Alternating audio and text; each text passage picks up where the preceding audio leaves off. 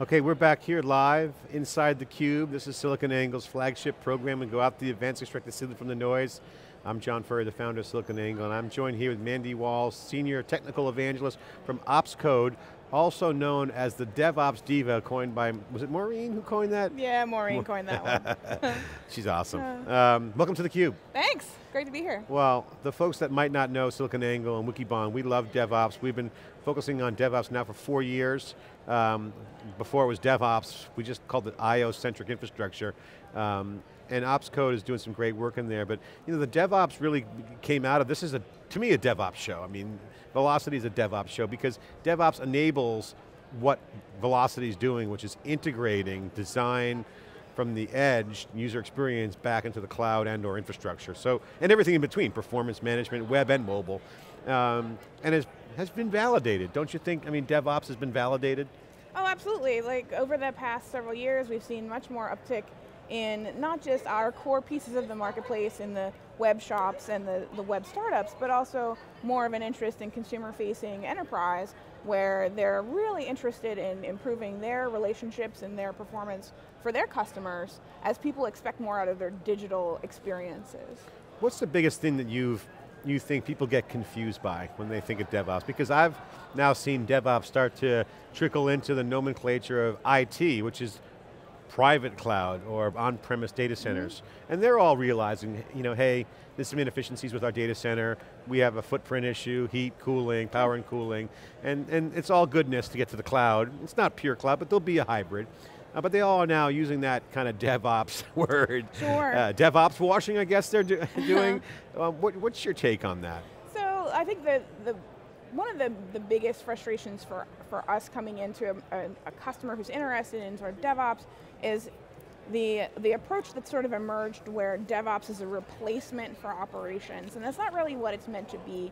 I mean, the, the whole idea was that your successful projects, your successful products that you're putting in front of your customers are fully integrated, and everyone who touches that product over its life cycle cradle to grave, whether it's development, product management, operations, those folks are focused on efficiencies and performance and all of these good relationships across you know, all these teams. And um, we see too many, I think, folks that have seen the, seen the DevOps but only heard the ops part and have missed out on the actually integrating with dev and, and making those relationships stronger. So let's talk about the ingredients of a good DevOps. If someone's a chef, of the future, if you will, no pun intended. um, there are ingredients, APIs that are obviously strategic in that, mm -hmm. and looking at designing, whether you've got a Hadoop distribution for, for a batch store, or you want to run something in the cloud, you really have to kind of put an API uh, system on top of it, but you really got to have uh, provisioning and orchestration nailed. Mm -hmm. So can you share with us your perspective of, for the folks out there who are looking at designing you know, multi-dimensional elements in their, in their data center and cloud, which would include, I got big data with Hadoop, I got mm -hmm. a mm-hmm. little bit of DynamoDB, I got this over here. Uh, there's diversity in technologies mm -hmm. under the API layer, if you will. Sure. And then you got security, you got other things, but you know, provisioning and orchestration is an interesting phenomenon with virtualization. Absolutely. So could you share what the, what's the current trend in that area? Uh, so it's definitely parts of the marketplace that are still emerging because everyone sort of has their own idea of what provisioning actually means, what uh, orchestration they actually think they need and what they actually do need. Um, sort of the first run at things, the hardest part is breaking down those silos, like making services available over APIs is, is a good start towards, you know, um, starting conversations with teams that haven't really been involved with what we've been calling DevOps, since the DevOps name sort of connotates that's really just dev and operations, but there's security teams, there's networking teams, there's your data center services folks, all of their their um, processes can be made more efficient with the same principles that we're looking at in provisioning and orchestration, having APIs, having sort of canned um, services that are available so that if folks stick with the, the menu, they get things really, really easily. Yeah. And if they want something special, then it has to be a discussion, but yeah. actually facilitating the right way to, to do things. But, it, but that's the challenge. I mean, in, cloud, in cloud, for instance, SLA is probably the hottest conversation. Mm -hmm. You, mm-hmm. you really can't walk into a cloud conversation at any level without the conversation of what's your SLA? It's a mm-hmm. value cloud, commodity cloud. I mean, pick your adjective and FUD that's being kicked around. We had EdgeCast on earlier, they're in the CDN mm-hmm. business. I mean, they have no SLAs because if they're not 100% guaranteed uptime, Yeah. they don't have customers, Yeah. right? So the cloud will soon get there. So orchestration and provisioning, orchestration in particular has been a big topic. Mm-hmm. So automation is critical, right? So what is the trends in automation? Because that's a killer product that needs to evolve fast. Where would you grade that right now in the market with orchestration and automation? So automation and the that sort of sort of the it's sort of still sort of very much a nas, nascent uh, product space. Um, at the at its core, system automation has been around for a long time, but it hasn't it hasn't done its best to keep up with the changes in uh, system complexity and um, system ev- evolution and the speed of those things as they're they've increased velocity. So um, as far as you know, straight automation goes, I think we have good paradigms. There's still work to be done. There's still um, operating systems that aren't fully supported uh, to the extent that they could be. Um, you know, trying to bring more things into the fold. Orchestration is is still a, a, a horizon to be conquered. It's it's a place where um, everyone's got very strict requirements on how they want their orchestration to be, and part of the the success of the next generation of orchest- orchestration pieces is going to be partially sort of re-education and resetting expectations, and also sort of level setting in uh, the next breed of that technology, so that you know we can sort of meet in the middle and and really move forward. What, on the service provider side, there's a lot of change, and everyone, you know, obviously realized over-the-top Mm-hmm. services. you know, whether it's, you know, you got Facebook announcing video today. The AT&T guy is working on web app optimiz, mobile optimization. Obviously, you know, Instagram videos are just going to choke the LTE Mm-hmm. network. So, you know, obviously efficiencies are critical, right? So, service providers, what are they thinking about right now?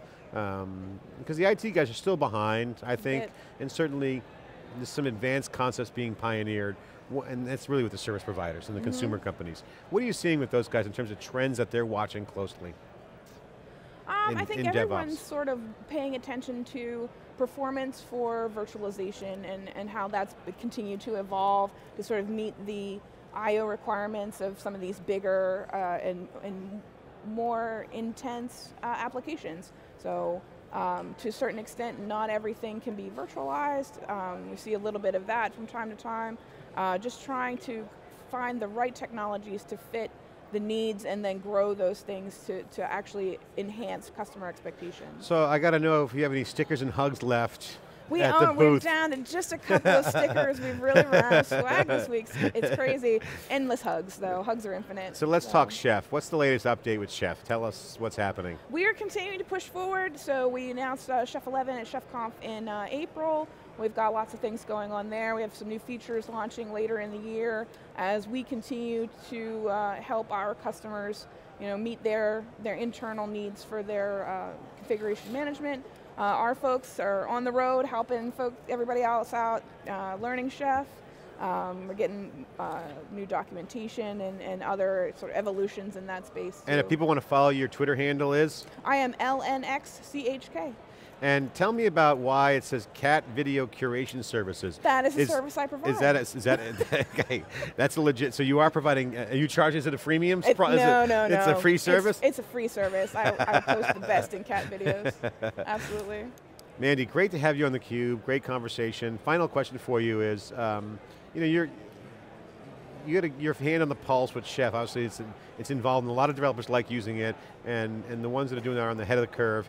Puppet's great for the enterprise as well. You guys have a nice, competitive relationship, mm-hmm. co-opetition, if you want to call it that, all proponents of the same mission.